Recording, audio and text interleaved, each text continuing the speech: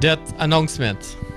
The death is announced of Bibi Fazia Khan, known as Wahida, aged 41 years, fish vendor of the New Amsterdam market and of Mai Mai Dam, Angoy's Avenue, New Amsterdam, who died on Wednesday, November 27 at the New Amsterdam Hospital.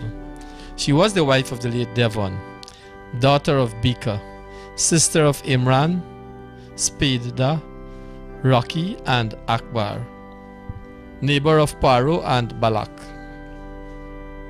friend of many.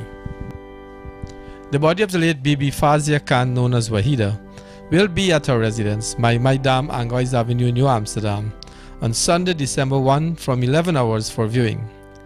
Thence to the Revival Temple, Pastor Charles, for funeral service at 13 hours 30. Burial will take place at the Stanleytown Cemetery. DTV extends sympathy to the relatives and friends of the deceased.